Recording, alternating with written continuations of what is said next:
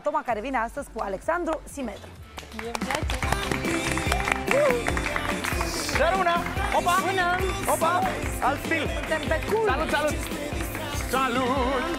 Luați un loc! Deci, stai puțin. Dacă eu îmi puneam ciorap peste pantaloni așa, eram la rubrica aia de cel mai prost îmbrăcat în viață. Eram cool? Așa se poartă O, acum? mai înțelegi fashion în 2018, stai jos. Mamaie, așa Că trebuie să nici continui. măcar n-ai șosete, asta e problema. Păi șosete, dar uite-te și tu, se pun peste pantaloni.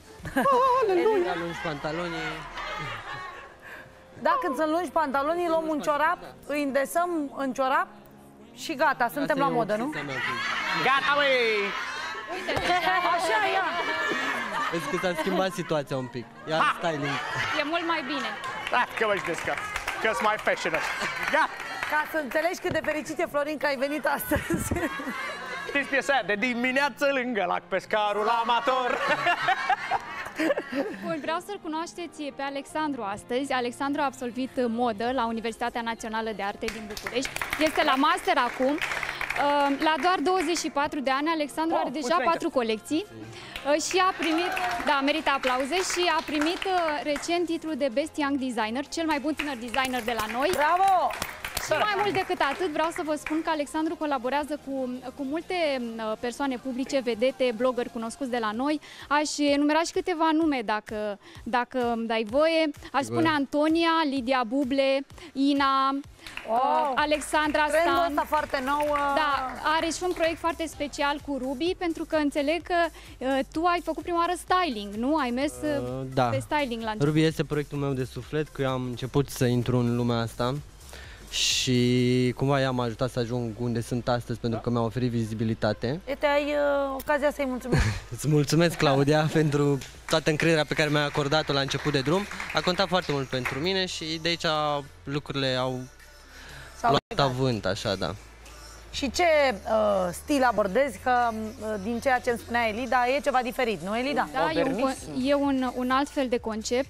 El are o reinterpretare a hainelor și le duce foarte mult uh, în zona aceasta contemporană. Este o abordare în care păstrează mult uh, uh, linia anilor 80, uh, dar merge și pe accente punk, pe care le aduce într-o manieră modernă și le reinterpretează în stilul lui propriu. Foarte Are și tare. colecții cu nume sugestive. Uh, Sorry fi? Mam, de exemplu. Sorry, mam. Sorry, mam, iartă-mă, mamă. Foarte Uh, frumos. De fapt, își ceri iertare cuiva sau cum te-ai gândit la asta? Um, Nu e vorba despre mamă, mama este văzută cumva ca societate și cumva este redefinirea cuvântului societate. Uh, Toate colecțiile mele sunt cumva niște manifeste culturale artistice care spun niște povești și ieri, hainele nu sunt doar o etichetă, sunt mai mult decât atât. Încerc să fac artă, pentru mine asta înseamnă artă. Uh, nu vreau să fac niște haine, vreau să fac mai mult de atât. La ce vrei să te Transmit mai mult. Uh, am început să lucrez din primul an de facultate la 19 ani. Deci de 5 ani faci chestia asta. De 5 ani. Da, cam lucrează Puțină deja la a vreme. cincea Foarte colecție. bine, știi? Lucrează deja la a cincea colecție. Lucrez la a 5-a colecție. Sunt foarte fericit că lumea e din ce în ce mai deschisă și la nou și la uh, tot ceea ce înseamnă fashion în ziua de astăzi și că îmi dă ocazia să muncesc și să pot să mă întrețin din asta, că până la urmă și asta trebuie să... Contează și asta, dar eu aș vrea să știu cum se lucrează cu uh, vedetele noastre, pentru că uh, Elida ne-a dat uh, niște nume mai devreme. Cu Lidia, cu Antonia, cu Ina. Da, lucrez... Acceptă ele uh, ușor uh, ideile tale? Da, în general iau haine care sunt uh, din colecții sau le mai modificăm, depinde de contextul m, pentru care îl vor. Lucrez mai mult pentru videoclipuri. În ultima vreme am lucrat cu Ina pentru un videoclip pentru Nirvana. Um, e mai greu cu artiști, dar cumva e mult mai, îți oferă mult mai multă libertate de să fii creativ și decât la mai- hainele o de mai bună expunere, commercial. Și Probabil, vizibilitate, uh, Și exact. vizibilitate, clar. Lumea trebuie să prindă încredere cumva și prin ei Ne arăți Asta se astăzi întâmplă. Ce ne arăți? Da, am adus câteva piese astăzi, outfituri create de Alexandru. Păi hai să le vedem. Ia, Știți ești că- curios. Păi mă roade curiozitatea întotdeauna, normal. Când e să vină fete și prezentări de modă, Ia! Ia! alt gen de muzică, ia auzi. Hai că poate intră firică. Poate ciorapi acolo, la vedere. Ia auzi. Oba! Povestește-ne un pic de ea. Ia. Salopeta asta e una din preferatele mele. E scrisă cu uh, graffiti. Le scriu eu, sunt cumva unicat. Um, are un mesaj sugestiv, God Save the Queen. God Save the Queen. Da. Foarte tare. Cred că oferă încredere femeilor și asta ar trebui să aibă mult mai multă încredere în ele. Are și o trupul trenă, lor. uite, pare fi... Uh, adică este o poate fi rochie și o de tiul. miresică O rochie de tiul. reinterpretată. Și jacheta, jacheta Sunt destul este... de versatile cumva, toate hainele pot fi purtate atât în club cât și pe stradă, cât și, nu știu, la sala de sport. A, Adică cu styling cu încălțările poți să schimbi multe lucruri. Și jacheta un este buzunar un la spate, dacă uh, vrea biker cineva. jacket reinterpretat. Da, Tu este ai- un biker jacket reinterpretat, atât culoarea cât și materialul. E un pic oversize, are niște mesaje sugestive pe mâneci. Văd că sunt uh, ținute îndrăznețe.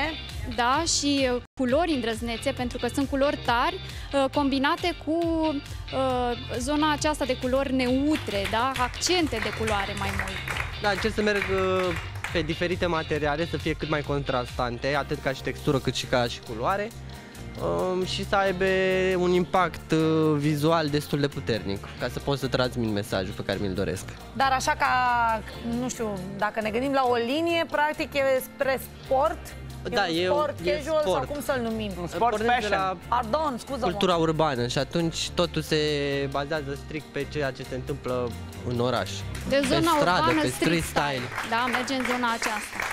Practic astea sunt uh, haine, că am văzut că acum și tu, Elida, poți să mă ajuți mai tare în zona asta. Uh, se poartă uh, lucrurile sport accesorizate cu încălțări Exact. cu toc Exact. Da. sau cum sunt acum fetele încălțate în Acum am tenis, vrut nu? să fie cât, cât mai simplu și cât mai uman. Dar uh, dacă îi pui alte încălțări și niște accesorii masive cu pietre, oriceva, poți să schimbi total lucrul să-l folosești într-o seară la o cină, spre exemplu.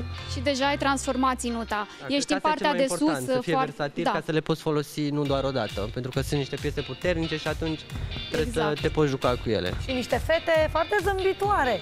Colanții se poartă Da. foarte mult în acest sezon.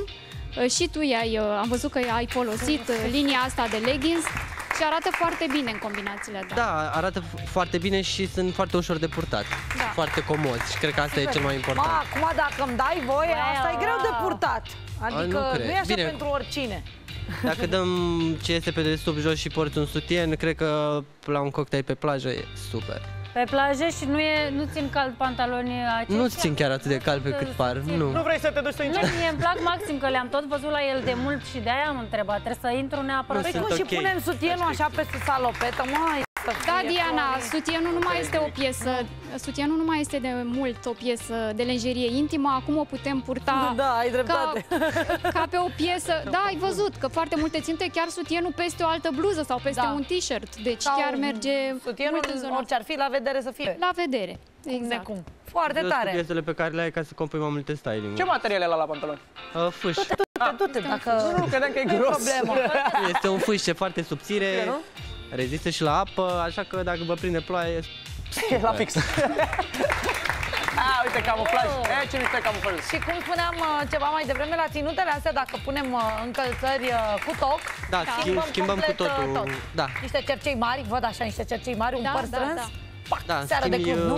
uh, Da, merg, e, trebuie să fie versatilă, pentru că ne referim la un public destul de larg și atunci oamenii trebuie să înțeleagă că te poți juca cu piesele.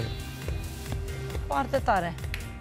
Aici este un army cu foarte multe culori În armi se integrate. poartă culorile neon, anul Da, ăsta da. sunt foarte în vogă și am mizat pe ele și în combinație cu tiul care este cumva mai elegant și mai feminin, Da, da, mai diafan, să zicem. Da, Da, am Și încercat să transparențele duc, astea se văd foarte bine. da, am încercat să duc în altă zonă față de ceea ce făceam înainte un pic. Da, da. Era destul de dură și am încercat să fac altceva. M-am... Bine, acum știi cum e, de, de obicei uh, ne punem pe noi un camuflaj să ne pitim. Asta e de să ne zărim. Da, exact, să ieșim în evidență și mai tare. Da. Ai- Asta e un jacket care îmi place. Ce Uh, este, Diana? Un jacket. Un o- jacket, o- e, scuze. Un jacket, scuzați, m-am murdărit puțin. E o jachetă uh, e un faină. Hoodie, un hanorac reinterpretat cumva, Nu jacket. Și ajustabil, pentru care că e se poate ajustabil. Este o lungi. rochie de fapt până la glezne. De fapt e o rochie. Da. Da. A, dacă tragem Da, de da, da. Dacă chestiile trage alea... șnururi, ea este până la glezne, poate fi purtat cu o centură în talie și atunci uh, lucrurile Stați un se pic. schimbă. E ca la Florin, draperii, recurge- Florin, Rămas cu trebuie să asta, mă. tragi. Se Nu așa? cred că o să reușească. Așa? Nu reușesc? Punem pariu? E nod Cum? acolo. Unde e nodul? Las că găsesc. Nu e bine. Uite aici. A, E în patru nod. noduri. Ba, nu știți că desfac Capcană. nodul cu gura. Uite. Ah, chiar... Puh, ce strâns e. Da, ai strâns bine, știai că vin aici. Da, ă, așa se face, da. Ah, n-am putut. Un nod în fața... Mă, Florin, de ce n-ai înțeles că îți trebuie răbdare? Poți să-l mai ridici dacă e să-l faci top, dar... Poți să mai ridic? Da. Ha, se ridică. Am înțeles. Aha! Când vrei așa, hop, când nu vrei, băi așa. Am găsit o soluție până la urmă. Mă scuzați, mai am derapaje stilistice din când în când. Să le numim curiozități. Curiozități. Curiozități. Da. Foarte tare. Pe tine aș vrea să te văd, Diana. În camuflajul ăla vreau să te văd. În camuflajul ăsta? Da, în Cred că ți-ar sta camuflaj. bine, chiar ți-ar da, sta bine. Ca foarte multe culori Ten acolo. și la păr. Ce pune Melida? La, camu, ma- ca, la camuflajul ăsta niște tocuri? Da, ce platforme sau cum aveai tu mai devreme. Mi-a arătat Da, o niște pereche de botine foarte înalte. 80 așa foarte mișto. Arătau foarte bine. Negre sau albe. Eu mi- Exact. merg mult pe încălțările albe, mi se pare că Alb? se potrivesc la orice. Da, se poartă mult alb la încălțări. Da? Ați observat, da. Da. Și la femei și pentru bărbați, la fel. Nu știu, Foarte eu cred că mult. trebuie să ascultăm de trendul ăsta nou, că altfel... Altfel, mama e! Alexandru Simedru, mulțumim Elida pentru ce am văzut astăzi. Ca de Și obicei noi o vă să alegem pe mulțumesc și final eu. uh, uh, Zi, ceva. eu ți-am ales uh, pentru tine. mijloc. Ah, că ți-alegeam camuflajul pentru tine, să știi. mulțumim frumos, mulțumim Elida. Mulțumim! Ne vedem uh, săptămâna viitoare. Uh, v-am